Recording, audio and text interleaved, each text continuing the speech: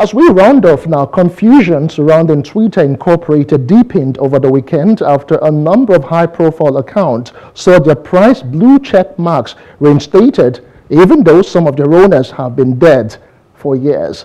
Celebrities and public figures took to the platform to deny having paid for the $8 a month that yields the colored tick, despite labels stated the account is verified because they are subscribed to Twitter Blue and verified their phone numbers.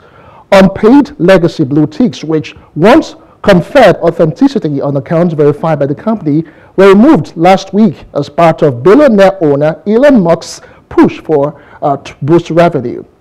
I will leave you with uh, reactions from co-founder of Blache, George Omosun. Business Insight returns again tomorrow. I am Justin Akadonye. Many thanks for watching. Uh, thank you so much. So personally, I don't foresee any issues since Twitter has not enforced the new badge on the masses. Twitter users can continue to use the platform with or without the new badge. The organization, Twitter, uh, needs this new revenue stream to survive. The operational costs at their current scale will not be manageable for much longer if they don't take drastic actions. Um, and I believe that's what they're trying to do here, honestly speaking.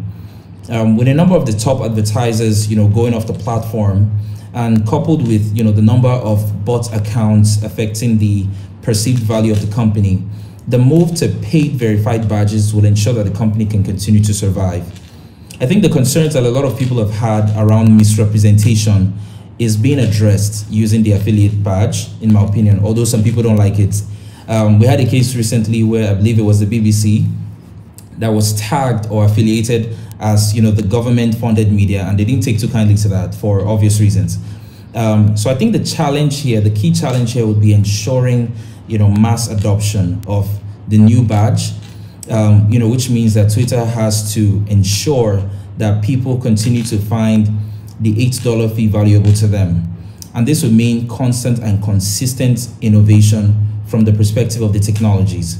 When a product is free, people don't complain much. But once they have to pay for it, it becomes a different story altogether.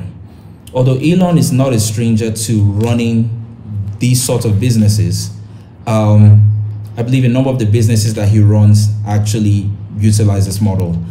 Um, so I believe if anyone can pull this off, it's probably him. Um, and yeah, I, I would like to see how Twitter pulls this off. And I wish them the best of luck.